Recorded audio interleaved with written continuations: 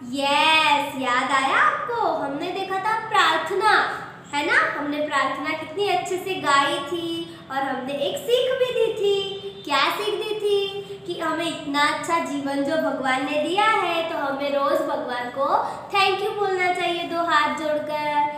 Yes तो आगे के वीडियो में क्या था वो हमने याद कर लिया। तो अब नेक्स्ट है 19 नंबर का और उसका नाम है तोता, जिनके बारे में हम आज पढ़ेंगे। तो रेडी हो ना आप? यस तो जब आप सुबह उठते हो तो क्या आपने एक बात नोट की है कि सुबह कौन कौन से चेंजेस होते हैं? सुबह आपको किसकी आवाज़ सुनाई देती है? सुबह कैसा वातावरण होता है? क्या आपने कभी नोट किया है?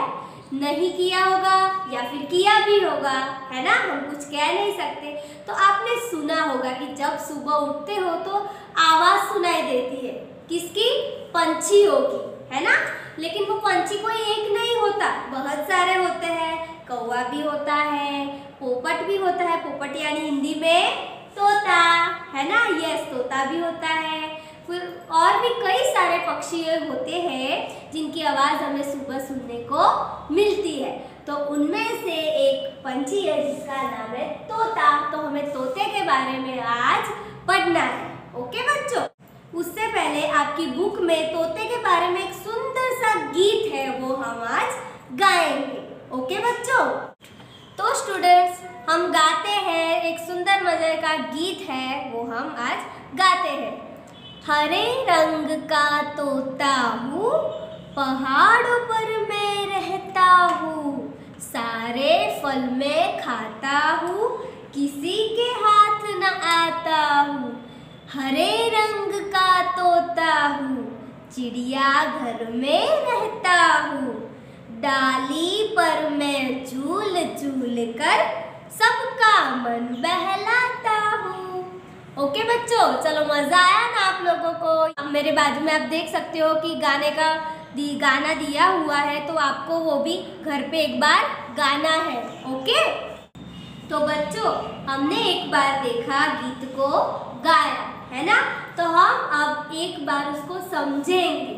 ओके बच्चों तो रेडी हो ना आप? ओके पहले लिखा है कि हरे रंग का तोता हूँ। तो हरा मतलब कौन सा रंग? आपको याद आया? हरा रंग मतलब लीलो रंग, है ना बच्चों? तो हम यहाँ पर लिखेंगे हरा मतलब गुजराती में लीलो रंग। ओके, तोते कौन, तोता जो होता है, वो कौन सा रंग का होता है? हरे रंग का। तो तोता हरे रंग का होता है, इसीलिए उसमें लिखा है वो बोलता है कि मैं हरे रंग का तोता। फिर है पहाड़ों पर मैं रहता हूँ। पहाड़ मतलब बच्चों, पर्वत, याद रखना। पहाड़ मतलब पर्वत और तोता मतलब पोपट। हूँ लीला रंग पर छू हूँ पर्वतों पर रहू छू सारे फल में खाता हूँ सारे मतलब बद्धाज फल मतलब फल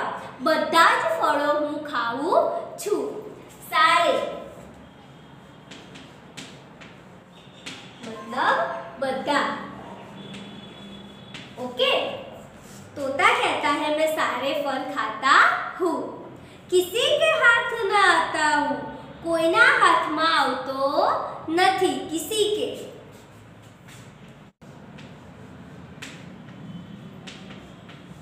किसी के मतलब कोई ना કોઈના પણ હાથમાં હું આવતો નથી હરે રંગ કા તોતા હું લીલા રંગનો હું પોપટ છું चिड़ियाघर में रहता हूँ बच्चों, चिड़ियाघर मतलब आपको मालूम है चिड़ियाघर मतलब क्या होता है? मतलब पक्षी घर रहूँ छू। चिड़ियाघर।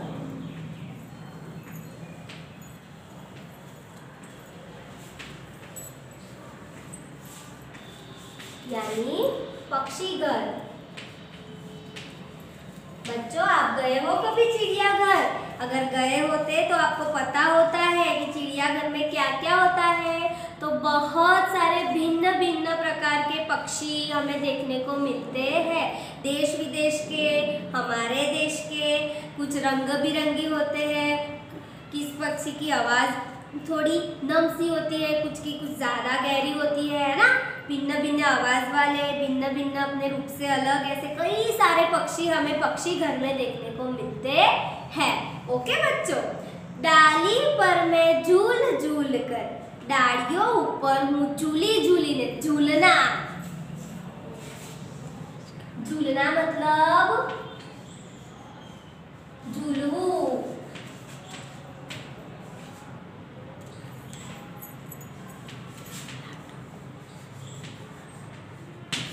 हम झूले पर बैठते हैं, है ना?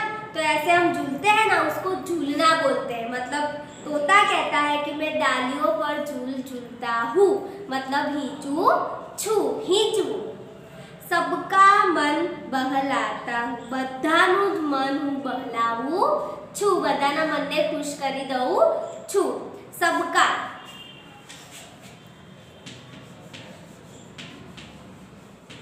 सबका मतलब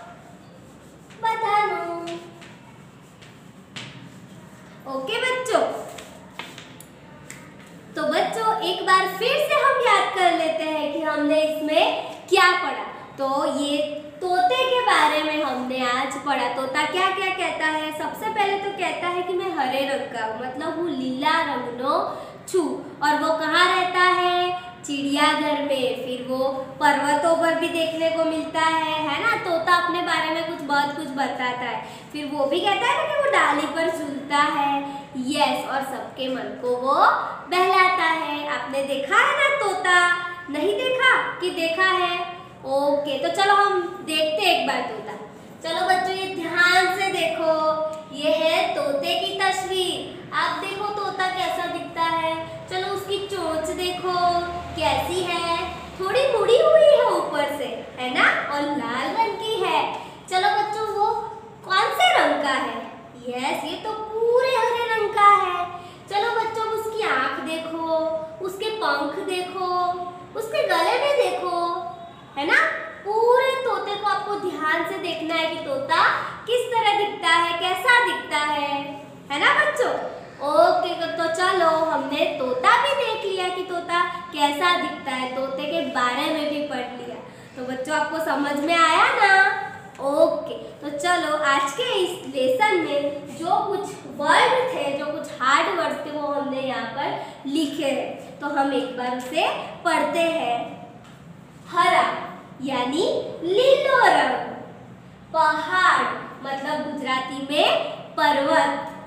तोता मतलब पोपट, पक्षी। सारे मतलब बद्दा। किसी के मतलब कोई ना। चिड़ियाघर, यानी पक्षी घर जहाँ भिन्न भिन्न प्रकार के पक्षी देखने को मिलते हैं। झूलना मतलब हिंचू।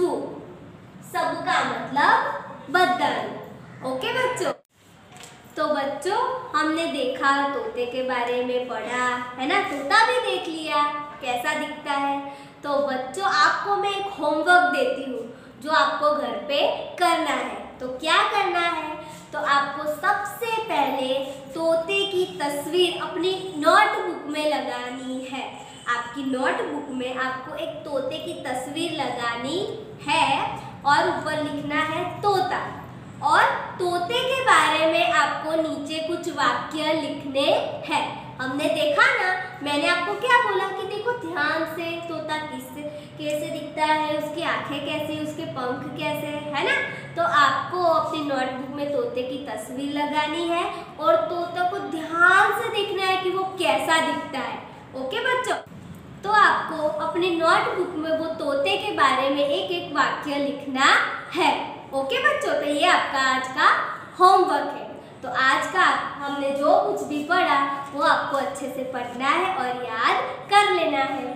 Thank you